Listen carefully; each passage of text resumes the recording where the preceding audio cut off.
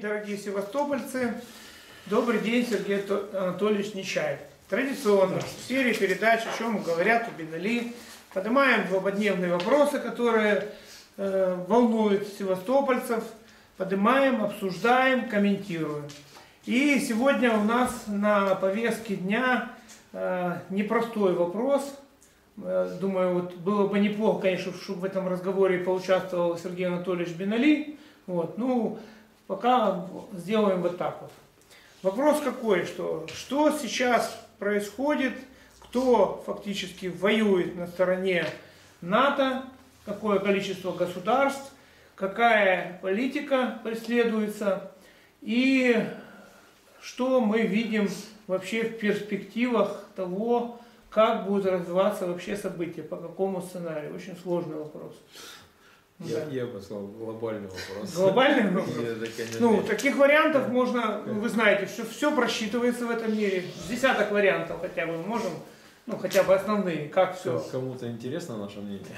Ну, почему нет? Это очень даже интересно. Вот, например, есть такое мнение, что э, президент Владимир Владимирович Путин э, в курсе всего, то, все, что, то, что происходит, происходит он дает как э, возможность э, привести все в норму, дает возможность утихомириться людям, которые НАТО уже сегодня участвуют, более 70 стран, создает возможности для того, чтобы решить этот вопрос без фактически, будем так говорить, применения ядерного оружия.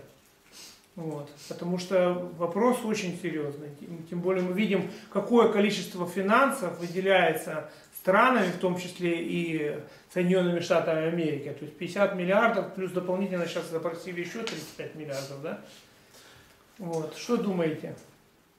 Ну, то, что там кто воюет, это сейчас уже всем давно понятно, что полностью все НАТО воюет, и сателлиты, которые там стремятся туда, хотят что-то там, они все, все воюют против России. Это, в принципе, как было всегда. Всегда против России воюет вся Европа и всегда ей помогают, так сказать, цивилизованные страны, которые... Ну да, они Великую Отечественную да. войну тоже самое делают. Да, и не только Великую Отечественную, все, да, и Первая мировая война России, которую совершенно не собиралась воевать, ее в, в, заста, за, заставили фактически ну, да. из-за кредитов, когда Франция уже была практически уничтожена, русских, неподготовленных к войне, бросили на убой. А по логике, как бы, любая война, она сопряжена с тем, что против нас будет воевать вся Европа. Поэтому мы всегда были готовы, к этому сейчас готовы. Да, поэтому... Э, Что это, кстати, выражение было? У нас есть единственный друг, это армия и флот. Не, ну это, это два друга, это говорил Александр Третий, наш да. лучший, на мой взгляд, царь, который был, при котором никакой войны никто не начинал, и как бы он им говорил, что ни один русский солдат не будет умирать за чужие интересы. Э, То, что он должен знать, за что он погибает. Ну, конечно, русские же, без русских никогда не началась ни одна война. Ни одна война на европейском континенте не ну, начиналась да, без русских. Или те, или другие русских звали на свою сторону для того, чтобы потом с другими повоевать. Потому что, по большому счету, как бы с нашей армией всегда считались, наш народ никто никогда не, не считал, что он там беспомощный, еще все знали, что мы умеем воевать, все знали, что мы никогда не сдаемся, все знали, что у нас а, очень сильный дух, и мы как бы за свою родину, даже где бы она ни была, как Суворов, да, воевал же, он что воевал, как, как наемник по, по Европе ходил, там всех лупил, даже Наполеона. Поэтому э, русский солдат, как бы он такой, ну, русский человек просто такой. По своему мировоззрению, укладу. Поэтому, поэтому все это знают.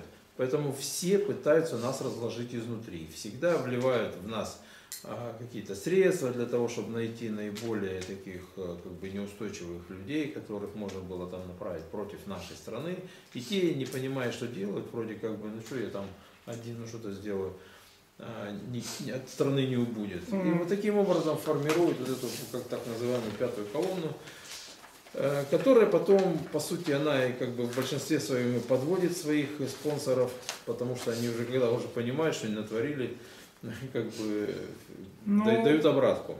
основная масса. Но это по истории всегда, всегда было так. У нас же начинается что-то, ну предателей всегда хватает, трусов хватает, но это везде, в любом народе, просто в других народах этого, этого значительно больше. Вот. И не то, что я там хвалюсь там или еще что-то такое, под любую войну возьмите, Европа, да я всегда называю, что вся Европа всегда с поднятыми руками. Кто бы ни пришел, пришел какой-то сильный, там, я не знаю, там, угу. э, кто угодно, там, Батый, там, да, там, Наполеон, я не знаю, там, Карл XII, без разницы, Гитлер, все, вся Европа сразу под пяткой. То есть тут как бы времени-то много не затрачивали никогда для того, чтобы их там а, завоевать. Любую страну, там, хоть они там и там великие, и, там и развитые, и богатые, и все такое прочее, вообще вопросов нет. И королей там унижали, и деньги там откупались, там, и, в общем, это всегда было, да? Всегда. Тут я могу привести, не знаю, сотни примеров знаменитых, известных людей, как они вели себя во время вот этого, где они были, на кого они работали. Поэтому Европа, она вся всегда была вот, вот пришли, кто, кто там сильнее, кто их там, и они, они за них и будут. Угу. Поэтому здесь... Вот так все, да? Евгений Анатольевич, еще вот вопрос. А как вы вот считаете, что об этом сейчас многие говорят, пишут и прочее. Говорят, что специальная военная операция выявила очень много недостатков во всем фактически в Российской Федерации. Выявила очень много недостатков. И как э, говорят очень многие журналисты, да, они все примерно говорят одно и то же. Они говорят, ну я имею в виду, которые опытные достаточно, которые начитанные, грамотные. Они все говорят, что главный Э, момент, который выявила специальная военная операция, это то, что э, многие не говорили неправду, заврались, и вот такая ситуация. При, при, э, приукрашали, показывали там технику, супертехнику, рассказывали о том, что так все здорово, все так, такая экипировка, а в конечном итоге выявились масса недостатков, вплоть до того, что хищение, вплоть до того, что на посты каких-то ставили военных, которые, в общем-то, неумелые. Вот примерно так. Что вы по этому поводу скажете? Так опять же, это, это, опять же, это было всегда. То есть мир... такая ситуация всегда ну, была, да? В мирное время в армии, вот представьте, угу. кто приходит к власти в армии в мирное время? Люди, которые умеют это делать, умеют приспосабливаться, имеют какие-то инструменты. Дружат с кем-то да, там, с кем-то, родственники может и, да. и так далее. Они приходят же не по боевым своим качествам занимают должности, а занимают вот, потому что по умению приспосабливаться к таким условиям. Ну и, соответственно, что такое армия? Это, это э, очень живой бо- организм, очень большие, соединенный с экономикой. Нет, это очень большие материальные ценности, да. которые должны храниться на складах, которые должны да, реализовываться в военное время для того, чтобы, ну, не дай бог, вот на нас напали, вы всю страну нужно одеть, вооружить, правильно, это шабуть. Ну, конечно. Это сколько средств нужно, а мы тут э, даже не было еще частичной мобилизации, уже столкнулись с тем, что того нету, того нету, того нету. Мы же постоянно собираем э, гуманитарную помощь всегда а, какие-то какие недостатки есть. Потому что ну, в свое время кто-то что-то там утянул, где-то кому-то что-то продал, там, где-то, естественно, обманул, какие-то не те отчеты написал и все. Не нам об этом рассуждать, но это же это было, я говорю, что это было всегда. Ну и да, сейчас... но только единственный вопрос, что специальная военная операция, это, мы уже об этом много говорили, это крайне была необходимость уже. Потому что еще чуть-чуть бы и совершенно бы на другой территории была война, и очень быстро ну, конечно, бы я... пошли бы на Донбасс. И, и для вас, и для зрителей я как бы говорю о том, что война не началась 24 э, февраля, да?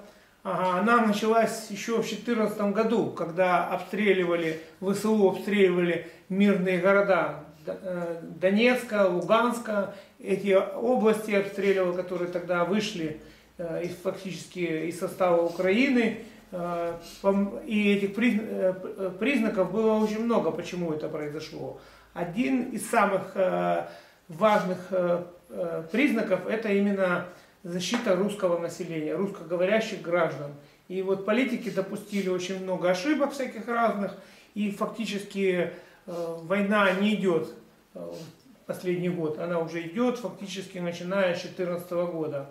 Но я говорю, почему я говорю война, потому что когда летят снаряды, когда диверсии совершаются, когда взрываются, сколько было убито командиров на, на, на Донбассе, да, мы знаем. Да и котлы, и что там Иловайский, Да, и котлы, там, там, ужас. Это, Но, конечно, военные операции. Да, ну а, что...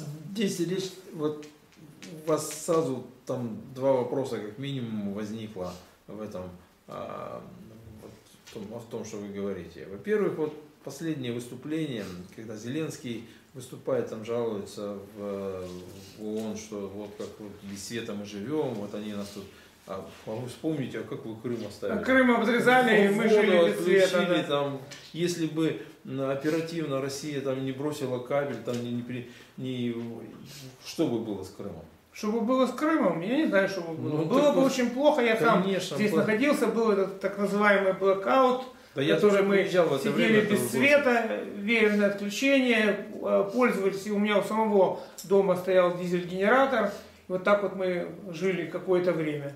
А теперь они почему-то вспомнили. Теперь вспомнили, да, а свои на, права. на Донбассе это было все да. время. А сколько детей погибло на Донбассе, когда они шли гулять, а к ним туда прилетал снаряд. И эти ВСУшники там, они фактически ржали там и говорили, то есть э, жители Луганска и Донецка для них были там сепаратистами и преступниками там, и как там еще они их называли там.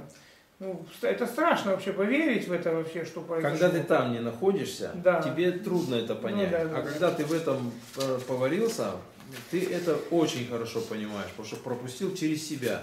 Они же воду отключили, не думали о детях Крыма. Ну, конечно, не думали. Никто М- не думал о том, что эпидемия будет. Я да, сам конечно. ездил в этот период, я ездил, снимал водохранилища, которые были без воды уже. И я, когда я об этом рассказывал, что если Боженька нам не поможет, вода не придет, да. то мы здесь все будем вообще в ужасном состоянии. Что я еще хочу сказать, вот есть еще отдельная тема, да, а, тема какого плана. Вот вы заговорили о пятой колонне, да, а мне вспомнилось, как работала немецкая разведка Абвер, которая накануне еще задолго до начала войны вербовала конкретно, а, а фактически ни, ни от кого не секрет, они даже фактически что устраивали. Например, а, даже в фильме каком-то произведении, не помню каком, там где пропали жена и дети одного из генералов, вот, которые якобы числились э, убитыми, что они погибли. И вдруг в штабе к нему приходят там э, посланцы и говорят, что ваши дети живы, они находятся, семья ваша живая, находится у нас. А наши требования такие, что вы нарушаете передислокацию войск, то есть фактически открытое давление на этого генерала. Естественно, он выдержал этот период, этот момент и все-таки не сдался. И в конечном итоге по фильму все закончилось благополучно, дети и жена были возвращены. Вот.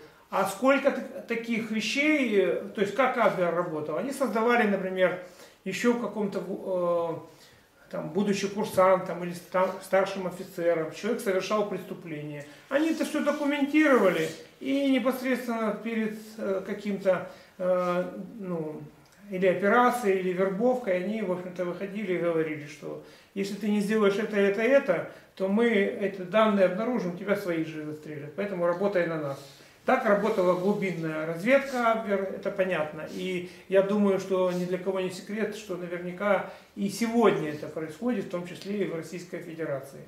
И это, да конечно, прискорбно. Это, это везде, все разведки так работают. Ну да. Шантаж, подкуп, это нормальная вещь. Кому-то за деньги, кого-то там ранее известная информация о каком-то преступлении на него давят, говорят, мы сейчас это все обнародуем. Или счета за границей, или там еще какие-то материальные ценности, украденные этим человеком. То есть меры воздействия, естественно, есть. Сейчас это вообще просто. Сейчас да? деньги еще решают все. Конечно, что там у них денег. Мир денег. Конечно, деньги печатают, да. там сколько угодно можно, даже от количества да. зависит человека подкупить. Да, американцы в прошлом году ушли из Афганистана, где они э, находились более 20, 20 лет, и где они тратили из бюджета США 50 миллиардов долларов в год. Э, я тогда еще подумал, думаю, почему-то американцы так вот резко заторопились уходить, бросили на 800 миллиардов Э, долларов техники, имущества всякого разного, там джипы, склады и прочее, все побросали и ушли. Теперь понятно, то есть они о том, что будет эта война, э, гибридная война на Украине, они знали, и эти деньги ушли из Афганистана с возможностью перебрасывать денежные средства денежные потоки на то, чтобы вести здесь войну. Как удобно, да? Со всех сторон обложили Россию. Они всегда обкладывают со всех сторон да, Россию, да. они всегда это делали. И здесь я не верю, что они убежали, там все это оставили, специально, наверное, договорились, оставили, чтобы нам мутить тут с юга, а, чтобы у нас было здесь неспокойно. Американцам веры нет, вообще англосаксам ну, Это самое, них... самое беспринципный, наглый, вероломный, можно как угодно это называть. Я даже в свое время когда-то был сайт, он назывался «Черная сторона Америки», где весь сайт пестрил войнами, которые на протяжении 200 лет проводила э, преступная э, организация, это правление США, ну, правительство, не народ, подчеркиваю. Кстати, сейчас мы уже знаем даже, что э, некоторые военнослужащие э, вооруженных сил Америки, бывшие, они воюют на стороне Донбасса. Это уже тоже известно. Там несколько даже около батальона этих уже людей есть. И бывшие генералы, они приезжают и уча- участие принимают. Это не народ. Это, ну, это непосредственно народ. А еще что хочется сказать, что ну, так же самое, как мир раскололся на две части. То есть одни э, страны поддерживают Российскую Федерацию, и они понимают, вопрос этот видят э, справедливым, и то, что это территория бывшего Советского Союза, и это фактически наша территория, вот, и поэтому на ней должен быть порядок, и не должно быть такого врага, который бы пропагандировал нацизм и фашизм. Опять тут, я не знаю, как э, страны, что, что брать за страны? Есть народ, есть государство, кто, кто поддерживает? А... Европа сейчас ощущает на себе вот эти тяготы Все этой тяготы, войны. Да, Конечно, да. они будут против нас. Это... А русские такие сякие, потому что и люди, и государство. Государство заставляет... Ну не все. Я сейчас смотрю, что поднимаются люди, Испания, Франция, они начинают, Италия. Они, они начинают, начинают прозревать просто да, Кто виноват? Ну, они да. же кто виноват? Что ну. вроде как бы им же э, сказали одно, а время-то проходит, оно все на свои места расставляет. Ну да, я, кстати, недавно прочитал даже, что учредителем э, ООН являлся Советский Союз. То есть ну, Конечно, фактически Россия является его правоприемником. Да. А там в нескольких статьях, 106, по-моему, 107 статья как раз и пишется, что э, те страны, которые будут воевать в перспективе или возрождать фашизм, да, э, и будут на стороне э, вот, несправедливости, то Российская Федерация имеет полное право фактически защищать свои законные интересы и, в общем-то, э, уничтожать нацизм, ну, фашизм. Там, нет, там, Примерно, немножко, ну, нет, там немножко не так. Ну, я понятно, знаю, я знаю вы читали, вот, кстати, да? Я, я знаю, что, как это было. Это, да. э, это просто вон закрепили Закрепили вот те право, которые были в Москве да, у нас да, там в 43 да, году, в Ялте были, в Познане, да, потом Крымская конференция. Да, они закрепили право стран, которые победительницы, это да. Советский Союз, Америка и Англия, ну Китай тоже. Там, Они допущения. Что если где-то будет возрождаться какой-то там фашизм, то они по согласованию друг друга Могут. могут их мирным способом, могут не мирным способом, могут просто их в этот поставить в известность и могут наказать их. И вот этим правом наша страна пользуется. Американцы этим пользуются со времен 45 -го года, они кого только не наказывали за это. Хотя должно быть, вот с кем сталкивались. Если Китай сталкивался с Японией, значит он только против Японии может это сделать. А если мы сталкивались со всей Европой фактически, ну, да, мы, мы со всеми можем, мы можем против всех ну, да, да. это сделать, если там зарождается фашизм. Мы же это не делали никогда. Сколько Латвия, Литва, Эстония, фашизм зародился там раньше, чем в Украине. Чем мы там, воевали что ли? Хотя имели полное право им сказать, или вы убираете всю эту символику, все эти направления, я, либо мы вас там грохнем. Я просто что хочу сказать, что специальная военная операция не проводится против населения Украины. Она проводится сугубо против э, преступного ну, правительства. Они же как сейчас рассуждают? Они, они, сейчас, да, они, да, они да. сейчас рассуждают как? Вот русские такие сякие, нам тут повзрывали электроэнергию, хотят нас оставить без воды, без тепла, там, без электричества. Вот они такие изверги, хотят извести украинский народ. Да и кто хочет что извести-то? Если бы ну, хотели извести, разбомбили бы все города, да и все бы сравняли с землей и все дела. Наоборот, идет как раз вот именно жалко народ-то. Я так понимаю, что нужно там уходить быстрее, наверное, с этой территории, чтобы там не мерзнуть ни, ничего, раз такая а, ситуация и все. Народ, наоборот, нужно сохранять. И наши, я говорю, как я всегда говорил, что наши на цыпочках воюют. На цыпочках. Ну, кстати, а мы несем очень большие потери из-за этого, что мы на цыпочках воюем. Сергей Анатольевич, очень часто задают вопрос, мне звонят и говорят, что, Павел Евгеньевич, а почему не Российская Федерация, Министерство обороны, допускает вообще провоз техники, которая идет через Польшу, через там, Румынию, через эти страны, идет фактически на территорию э, Украины и фактически в огромных масштабах это все происходит. Почему не, в общем-то, не в самом, при самом появлении этой техники на территории Украины не разбить эту колонну, не взорвать, не уничтожить? Ну, этот вопрос не ко мне, я не знаю, почему это не, не происходит. Вот. Но, хотя тоже считаю, что это было бы неплохо уничтожить э, заразу при самом ее подъезде к Украине даже. Ну, для меня тоже загадка, что почему не бомбят там 6 въездов, там, грубо ну, говоря. Ну да, все же знают со спутников, что видно. Грохнули эти подводы, никакого подвоза это вооружение не будет. Может, это часть какого-то плана? Я не знаю, что это такое, там, может, может, что, не, может бизнес какой-то там договаривается между собой, чтобы возить какие-то товары, может, там еще что-то. То есть, а, тяжело рассуждать, когда это не знаешь. Вот, э, и уверенности в, в этом у тебя нет. Как будешь рассуждать? Странно. Все говорят, на Украине, на Украине очень много русских людей. Вы знаете, что сейчас с ними происходит. А, недавно я общался с э, гражданами Украины, и они мне даже сказали, что а, появился новый термин такой, да, человеку задают вопрос, разговариваете на украинском языке? Он говорит, да, конечно, разговариваю, ну, при приеме на работу. А думаете, на каком языке? Вот до, до такого дошло. Я, честно говоря, ну не в шоке, но я просто удивлен, что оказывается человек должен думать еще на том языке, на который он говорит. Это не обязательно. То есть человек может, вот я, например, думаю, никто это не проверит, как я думаю. Я на арабском, может, думаю, там, правильно? Да? Так удобнее, да. Я думал на татарском. На татарском? Ну, на татарском я еще пока не это. Но сам факт вот этого, человеку задают такой вопрос.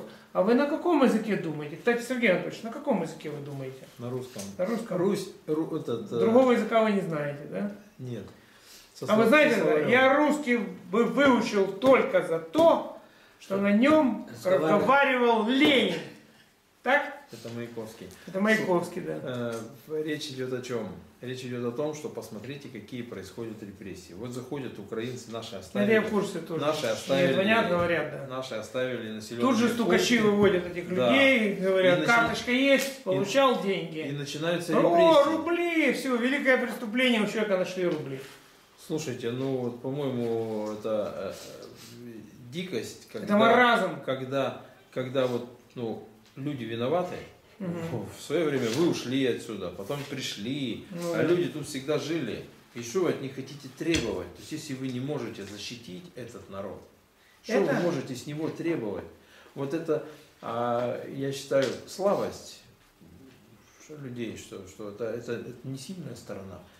Мужчины так не, не должны поступать. Так а вы еще посмотрите, есть международная конвенция, да, по которой э, фактически издевательство над военнопленными запрещены. А недавно, вы знаете, ну, кошмар, а, просто расстреляли просто-напросто. Сначала показали одну картинку, потом расстреляли и все. То есть это вообще просто жесть. Ну, когда нам же говорят, что фашизма там нет, да, украинцы ну, да. У нас там фашизма нет. Вот, пожалуйста. А что? при этом Российская Федерация, считаю, как же содержание, спрашиваю, звоню, мне отвечают и говорят, что Российская Федерация сегодня э, такое же военнопленный стоит на довольстве на точно таком же, как и военнослужащий. Так всегда да, так Одинаково. Ну что это такое? Получается, а тех не кормят вообще, издеваются, убивают, а наши еще и лечат. Российская Федерация раненых лечат, оказывают, делают им дорогостоящие операции И, в общем-то, гуманно очень, очень гуманно. А здесь просто вот жесть, можно ну, так сказать. Вот я не знаю, это, это вот как раз западная черта, потому что знаете такое, что да, в 20-е годы у нас была война с Польшей. Ну, да. И там очень много русских пленных осталось в то время. Там. С поляками? Вот, Да. кстати, По одним, по, поляков терпеть не могу. по Шехов. одним, по одним данным, там больше 120 тысяч пленных осталось, а вернулось что-то там порядка, что ли, там 40, не, не помню сейчас точно. Мгм. Огромное количество людей осталось. Когда я читал, что с ними там делали, с пленными в польских лагерях, просто кошмар. И мне вот эти вот немецкие концлагеря показались, это вот это просто следствие. Детским садом по Нет, не сравнению- детский сад, Ну то да. же самое, но это следствие вот этих вот польских лагерей, которые То есть были. фашизм, он фактически это не какой-то... Это не э, национальность. Не национальное. Это просто проявление вот... э, Очень много. Вообще я считаю, что э, фашизм это проявление сатанизма. То есть фактически, как Ну, это даже же Владимир Владимирович Путин сила, сказал, да. что мы сегодня имеем дело с сатанизмом фактически. Ну было же, вот я говорю, что в истории как, вот у нас во время войны, а, как относились к финнам? Финнов считали очень жестокими. Их в плен брать не хотели, потому что они то же самое издевались над пленными. Венгров, мадьяр же Мордьяры это вообще любили, самая это ж им нация. же тоже, тоже шло, это шло, что... Румыны, то же не самое. брать. Не, ну по румынам не было такого. Ну, по румынам было, в Крыму очень много п- Нет. претензий. Претензии были ко всем. А здесь просто вот, вот жестокость неоправданная абсолютно. Ну да. Вот когда человек один беспомощный, а у второго все, ну не надо себя вести как. Ну, Надо быть благородными и согласно Даже ты, конвенции. даже ты можешь быть неблагородным, Конечно. ты просто веди себя прилично, вот как бы уже, уже все выиграно, зачем? А здесь это же для чего делается? Вот этот страх навязать, вот это вот испугать людей. Но э, по истории никак понять не могут, что русских это только злит. Чем больше вы делаете вот подобных преступлений, тем больше вы ненависти к себе привлекаете. Страх никогда не загонял в угол народ. Он может загнать в угол отдельного человека, там, но, но никак не, не, не весь, весь народ, наоборот, будет, будет мстить. Ну, мне хотелось бы сегодняшнюю нашу передачу закончить словами наше дело правое, мы победим, победа будет за нами.